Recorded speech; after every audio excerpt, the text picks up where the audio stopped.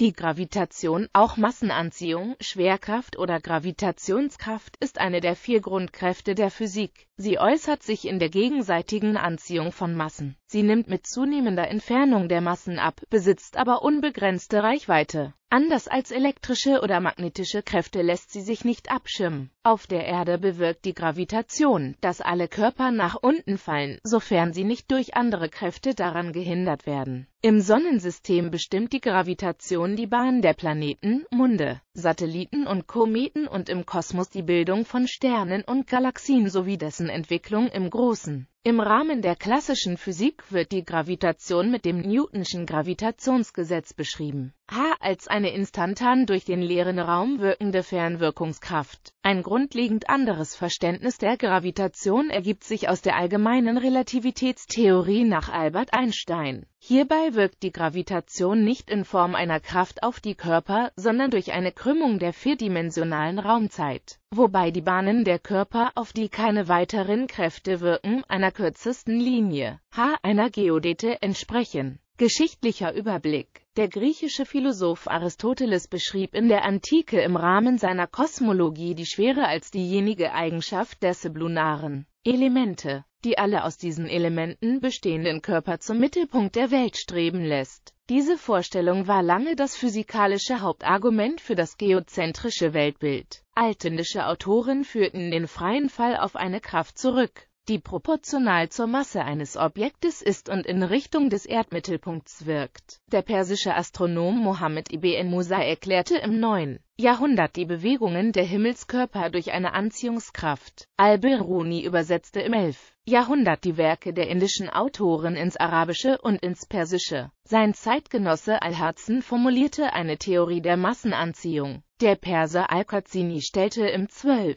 Jahrhundert die Vermutung auf, dass die Stärke der Erdanziehung abhängig vom Abstand zum Erdmittelpunkt ist und Unterschied zwischen Masse, Gewicht und Kraft. Nikolaus Kopernikus ging 1543 in De Revolutionibus Orbium Coelestium davon aus, dass außer der Erde auch alle anderen Himmelskörper Gravitation ausüben. Anführungszeichen Punkt Punkt Punkt. Ich bin wenigstens der Ansicht, dass die Schwere nichts anderes ist als ein von der göttlichen Vorsehung des Weltenmeisters den Teilen eingepflanztes, natürliches Streben, vermöge dessen sie dadurch, dass sie sich zur Form einer Kugel zusammenschließen, ihre Einheit und Ganzheit bilden. Und es ist anzunehmen, dass diese Neigung auch der Sonne, dem Monde und den übrigen Planeten innewohnt. Johannes Kepler veröffentlichte 1609 in seiner Astronomia Nova folgende Axiome jede körperliche Substanz ist, insofern sie körperlich ist, von Natur aus dazu geneigt, an jedem Ort zu ruhen, an dem sie sich allein befindet, außerhalb des Kraftbereichs eines verwandten Körpers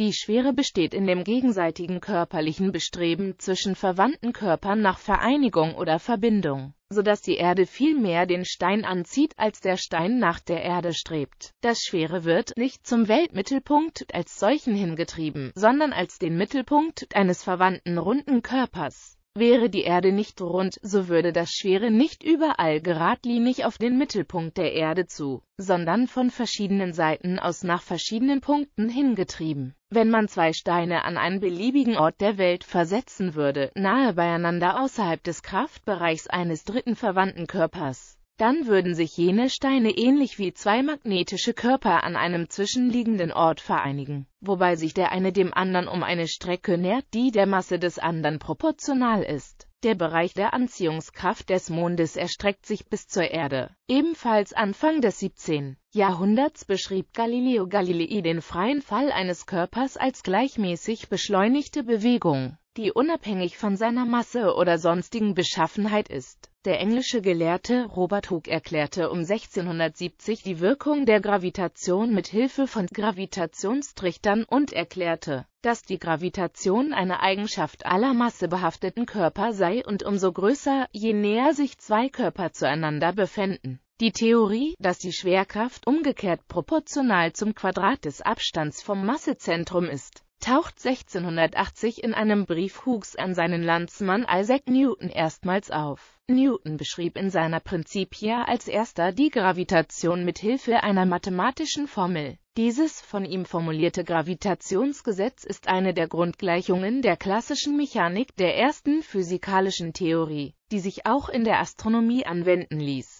Danach ist die Gravitation eine Kraft zwischen je zwei Körpern, die diese zu ihrem gemeinsamen Schwerpunkt hin beschleunigt, wobei ihre Stärke proportional zum Quadrat des Abstandes der Körper abnimmt. Die Newtonsche Theorie liefert ein grundlegendes Verständnis der Dynamik des Sonnensystems mit der Möglichkeit präziser Vorhersagen der Bewegung von Planeten, Monden und Kometen Sie bestätigt die Keplerschen Gesetze der Planetenbewegung für einzelne Planeten, lässt aber darüber hinaus den steuernden Einfluss der anderen Planeten und Monde ermitteln. Die danach berechneten Werte stimmten lange Zeit mit den entsprechenden astronomischen und irdischen Beobachtungen und Experimenten vollkommen überein. Die erste so nicht erklärbare Diskrepanz wurde Mitte des 19. Jahrhunderts an der Periheldrehung der Bahn des Merkur entdeckt zur Erklärung der Gravitation im Sinne eines Prozessgeschehens wurden seit der Zeit Newtons bis zur Entwicklung der allgemeinen Relativitätstheorie im frühen 20. Jahrhundert eine Reihe mechanischer respektive kinetischer Erklärungen vorgeschlagen. Eine der bekanntesten ist die von Fazio und Lesage entwickelte Theorie der Lesage-Gravitation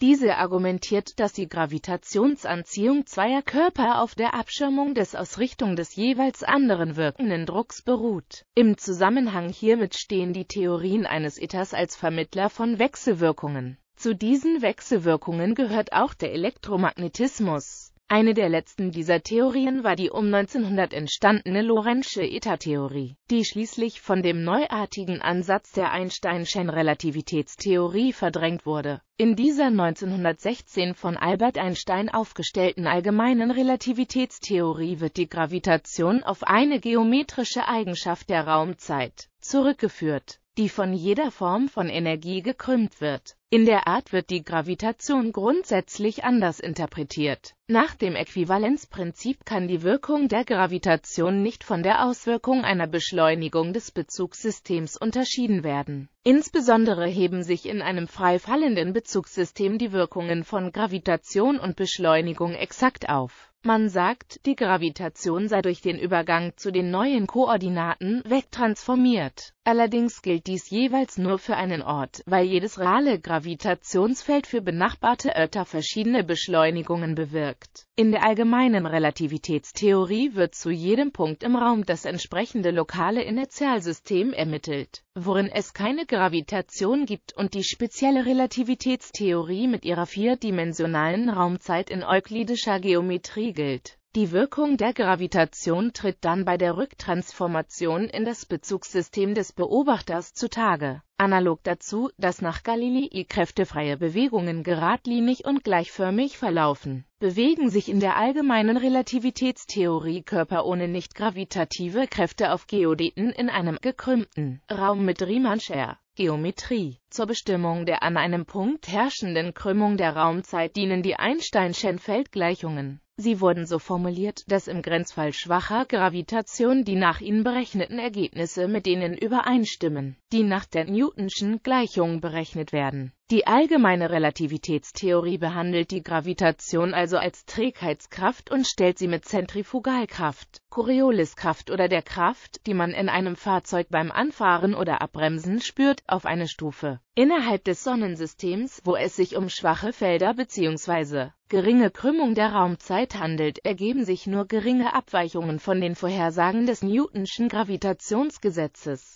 das erste erfolgreiche Anwendungsbeispiel der allgemeinen Relativitätstheorie war die Erklärung der kleinen Abweichung zwischen der beobachteten Periheldrehung der Bahn des Merkur und dem Wert, der nach der Newtonschen Theorie aufgrund der Bahnstörungen durch die anderen Planeten vorhergesagt wird. Bei starker Krümmung, wie sie durch starke Konzentration großer Masse auf kleinem Raum hervorgerufen wird, werden völlig neue Phänomene wie Z B. Schwarze Löcher vorhergesagt. Als Quelle wie auch als Angriffspunkt der Gravitation gilt in der Newtonschen Mechanik allein die Masse, die von dem ursprünglich ungenauen Begriff einer gegebenen Materiemenge ausgehend hier ihre erste präzise physikalische Definition erfuhr In der allgemeinen Relativitätstheorie ist die Gravitation Ausdruck der Krümmung der Raumzeit, die ihrerseits nicht nur von der Anwesenheit von Materie, sondern auch von Energie in jeder Form, auch der Gravitationsenergie selbst, und darüber hinaus von Massen und Energieströmen beeinflusst ist. Alle der Beobachtung zugänglichen Vorhersagen der allgemeinen Relativitätstheorie wurden durch Messungen bestätigt. Experimentell nicht zugänglich sind extrem hohe Konzentrationen von Masse bzw.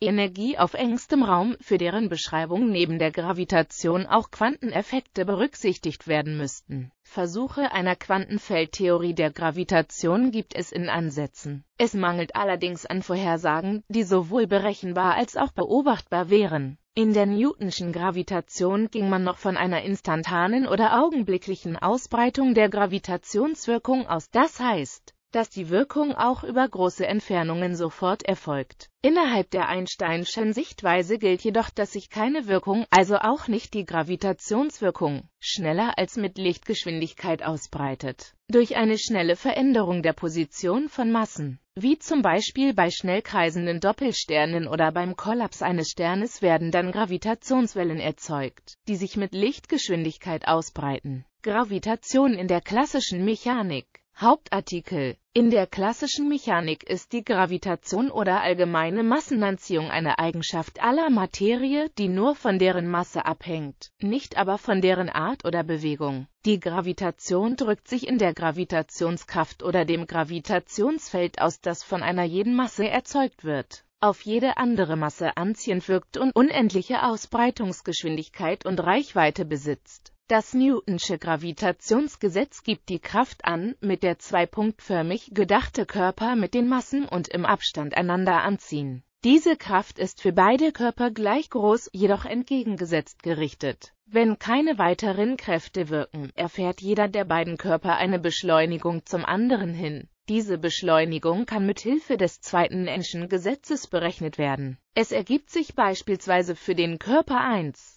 die Beschleunigung des Körpers 1 hängt also nicht von seiner Masse ab, sondern von der Masse des anderen Körpers. Der Körper 2 erteilt somit in einem bestimmten Abstand jedem anderen Körper, unabhängig von dessen Masse, die gleiche Beschleunigung. Umgekehrt gilt das Gleiche für die Beschleunigung, die Körper 1 jedem anderen Körper im Abstand erteilt. Die beiden Beschleunigungen stehen im umgekehrten Verhältnis der beiden Massen. Punkt. Der Abstand der beiden Körper verringert sich entsprechend ihrer Summe. Erste die eine Masse b um viele Größenordnungen größer als, dann kann man die Beschleunigung in der Summe vernachlässigen. Der Abstand verringert sich dann mit der Beschleunigung, also unabhängig von der Masse. Nimmt man für den Körper 2 die Erde und für den Körper 1 einen beliebigen Gegenstand des täglichen Lebens erklärt dies die von Galileo Galilei zuerst ausgesprochene Tatsache, dass alle Körper unabhängig von ihrer Masse mit gleicher Fallbeschleunigung fallen. Die Gleichheit der Fallbeschleunigung wird auch als das Prinzip der Äquivalenz von träger und schwerer Masse bezeichnet. Die Gewichtskraft eines Körpers auf der Erdoberfläche wird maßgeblich durch die Gravitation bestimmt weiter tragen Trägheitskräfte zur Gewichtskraft bei, wegen der Erdrotation z. b. die Fliehkraft, die der Gravitation ein wenig entgegenwirkt. Gravitation und Trägheitskräfte zusammen bilden das schwere Feld. Die klassische Beschreibung der Gravitation ist für viele Anwendungsfälle hinreichend genau. Abweichungen treten allerdings im Zusammenhang mit präzisesten Messungen auf. b. bei der Periheldrehung des Merkur die klassische Beschreibung versagt völlig bei extremen Bedingungen wie schwarzen Löchern. Gravitationskonstante Hauptartikel Die Gravitationskonstante ist eine Fundamentalkonstante der Physik. Ihre genaue Bestimmung ist sehr schwierig, denn zwischen zwei Körpern, deren Masse durch direkte Bewegung bestimmt werden kann ist die Gravitationskraft äußerst gering. Ihr Wert ist daher nur auf vier Dezimalstellen bekannt, im Unterschied zu den mindestens acht Dezimalstellen anderer Fundamentalkonstanten. Die erste Bestimmung gelang 1798 Henry Cavendish. Das in seinem Labor durchgeführte Experiment hat historische Bedeutung für die Entwicklung der experimentellen und theoretischen Grundlagen der Gravitation. Allgemeine Relativitätstheorie. Hauptartikel. In der allgemeinen Relativitätstheorie wird die Gravitation nicht wie eine Kraft im Sinne der klassischen Physik behandelt. Im Unterschied zu den gewöhnlichen klassischen Feldtheorien, in denen die Koordinaten für Ort und Zeit in einer festen Struktur vorgegeben werden, betrachtet die Art diese Struktur selber als veränderlich. Als Grundlage nutzt sie die aus der speziellen Relativitätstheorie bekannte Raumzeit in der Orts- und Zeitkoordinaten in einer vierdimensionalen Pseudo-Riemann-Schenmann-Mannigfaltigkeit zusammengefasst sind. Diese Raumzeit ist in der Art aber nicht mehr flach wie in der euklidischen Geometrie, sondern wird durch das Auftreten von Masse oder Energie gekrümmt. Die Krümmung ergibt sich an jedem Punkt der Raumzeit aus der Metrik, die festlegt, wie der vierdimensionale Abstand zwischen zwei Punkten der Raumzeit, also zwischen zwei Ereignissen, zu ermitteln ist Dabei wird der zeitliche Abstand mit positivem, der räumliche Abstand aber mit negativem Vorzeichen gewertet. Weiter wird festgelegt, dass ein Körper, auf den außer der Gravitation keine Kräfte wirken, sich zwischen zwei Ereignissen stets entlang derjenigen Verbindungslinie bewegt, die nach dieser raumzeitlichen Metrik die längste ist, was wegen der erwähnten Vorzeichenwahl die räumlich kürzeste Strecke bedeutet Dort, wo die Raumzeit flach ist, ist die Geodete die gerade Verbindungslinie der beiden Punkte. Umgerechnet in die üblichen Koordinaten für Ort und Zeit gibt sie eine gleichförmige Bewegung auf dem räumlich kürzesten Weg, also längs der räumlichen Verbindungsgeraden. Das entspricht dem Trägheitsgesetz der klassischen Mechanik für den völlig kräftefreien Körper. Bei einer gekrümmten Raumzeit entspricht eine Geodete im Allgemeinen einer beschleunigten Bewegung längs einer räumlich gekrümmten Bahn die durch die Anwesenheit von Masse oder Energie verursachte Krümmung der Raumzeit wird durch die Einsteinschen Feldgleichungen gerade so festgelegt, dass die Geodete eine Bewegung wiedergibt, die genau der Bewegung des ansonsten kräftefreien Körpers im herrschenden Gravitationsfeld entspricht, da die Masse des betrachteten Körpers dabei gar nicht einfließt, gilt für Körper mit verschiedener Masse dieselbe Geodete. H. Sie bewegen sich in einem gegebenen Gravitationsfeld gleich damit ist auch das Äquivalenzprinzip erklärt, das in der klassischen Physik die Gleichheit von schwerer und träger Masse feststellt. Die Gravitation tritt demnach nicht wie in der klassischen Physik als eine bestimmte Kraft auf, die auf den Körper wirkt und eine Beschleunigung verursacht, sondern als eine Eigenschaft der Raumzeit, in der der Körper sich kräftefrei bewegt. Gravitation wird auf diese Weise als ein rein geometrisches Phänomen gedeutet in diesem Sinne reduziert die allgemeine Relativitätstheorie die Gravitationskraft auf den Status einer Scheinkraft. Wenn man auf einem Stuhl sitzend fühlt, wie man durch eine Gravitationskraft zur Erde hingezogen wird, deutet die Art dies so, dass man von der Stuhlfläche fortwährend daran gehindert wird, der Geodete durch die von der Erdmasse gekrümmten Raumzeit zu folgen, was der freie Fall wäre. Dabei ist die Kraft, mit der die Stuhlfläche auf die Sitzfläche des Beobachters einwirkt, keineswegs eine Scheinkraft. Sie geht letztlich zurück auf die elektrostatische Abstoßung bei der Berührung der Atome der Stuhlfläche durch die Atome des Beobachters. Nach der Sichtweise der allgemeinen Relativitätstheorie verschiebt sich also die Interpretation der Ereignisse, während nach der klassischen Mechanik die Erde ein Inertialsystem darstellt, in dem die nach unten gerichtete Schwerkraft auf den Beobachter durch die nach oben gerichtete Stützkraft der Stuhls ausgeglichen wird, so dass der Beobachter in Ruhe bleiben kann stürzt das nach der allgemeinen Relativitätstheorie richtige Inertialsystem mit der Erdbeschleunigung nach unten. Doch in diesem Inertialsystem übt der Stuhl eine Kraft auf den Beobachter aus, die ihn konstant mit nach oben beschleunigt. Senkrecht freifallende Körper hingegen, aber auch Satelliten, Planeten, Kometen oder Parabelflüge folgen einer Geodete durch die Raumzeit. Ihre Bewegungen werden in der allgemeinen Relativitätstheorie als kräftefrei angesehen, da die Erdmasse durch die Raumzeitkrümmung die Definition davon beeinflusst, was im Sinne der Trägheit von Körpern geradeaus bedeutet.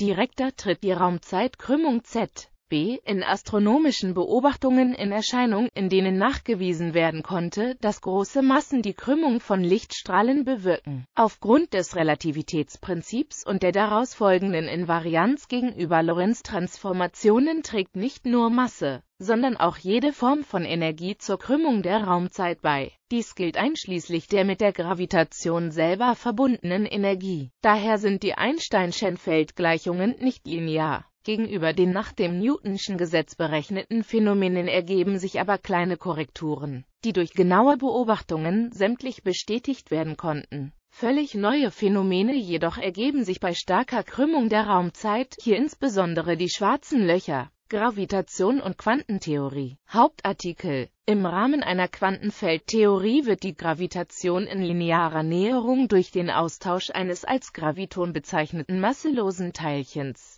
beschrieben, das den Spin 2 hat. Darüber hinaus führt schon die Formulierung einer Quantentheorie der Gravitation zu prinzipiellen Problemen, die bisher ungelöst sind. Auch die supersymmetrische Erweiterung führte bisher nicht zu einer konsistenten Theorie. Als derzeit aussichtsreichste Kandidaten gelten die Stringtheorie und die Loop-Quantengravitation. Ein wesentliches Ziel ist dabei, die Gravitation mit den übrigen Wechselwirkungen zu einer großen vereinheitlichten Theorie zu vereinen, um somit eine Theorie zu formulieren, die alle Naturkräfte auf einmal beschreiben kann. Das bedeutet, dass die Gravitation, welche die Effekte der Quantenfeldtheorie nicht berücksichtigt, um diese erweitert würde. Im Rahmen der vereinigten Superstringtheorien, der M-Theorie, wird das Universum als elfdimensionale Mannigfaltigkeit beschrieben. Dabei stellt der Teil des Universums, in welchem wir existieren, eine höherdimensionale Membran dar, die selbst in eine noch höherdimensionalere Mannigfaltigkeit eingebettet ist in der noch weitere Branen schwingen könnten und somit parallele Raumzeiten innerhalb desselben Universums darstellen. In der M-Theorie werden die Gravitonen als geschlossene Strings dargestellt, die nicht an die Grenzen einer Brane gebunden sind. Daher sind sie in der Lage, sich durch alle zusätzlichen Raumdimensionen auszubreiten und auch in andere Branen zu gelangen. Auf diese Weise wird die Stärke der Gravitation hinreichend abgeschwächt, so dass sie im Rahmen unserer vierdimensionalen Erfahrungswelt als die schwächste der vier Wechselwirkungen erscheint. Die Wirkung des Gravitationspotentials auf die quantenmechanische Phase der Wellenfunktion wurde 1975 durch ein Interferenzexperiment an freien Neutronen nachgewiesen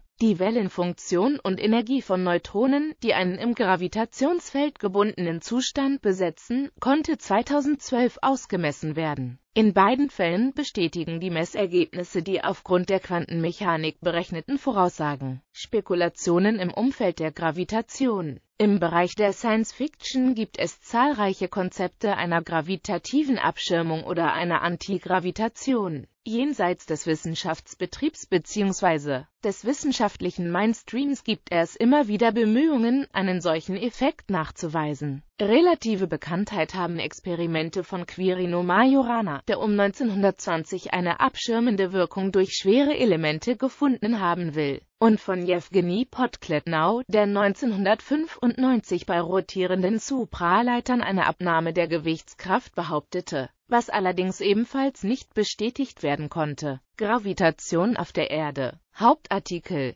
Die Erde hat eine Masse von 5,974 Kilogramm. Ihr Radius beträgt an den Polen 6356 Kilometer bzw. wegen der Erdabplattung 6378 Kilometer am Äquator. Daraus ergibt sich mit Hilfe des Gravitationsgesetzes von N, dass die Gravitationsbeschleunigung zwischen 9,801 Meter s-2 und 9,867 Meter s-2 beträgt. Die tatsächlich wirksame Fallbeschleunigung weicht jedoch von dem auf diese Weise berechneten Wert ab, man spricht deshalb auch vom Ortsfaktor. Diese Ortsabhängigkeit, die auch die Richtung der Fallbeschleunigung betrifft, hängt mit der Zentrifugalwirkung die durch die Erdrotation hervorgerufen wird, mit der Höhe des Standorts und mit lokalen Schwereanomalien zusammen. Dementsprechend ist die Gewichtskraft im Schwerefeld der Erde nicht nur eine reine Gravitationskraft im Sinne des Gravitationsgesetzes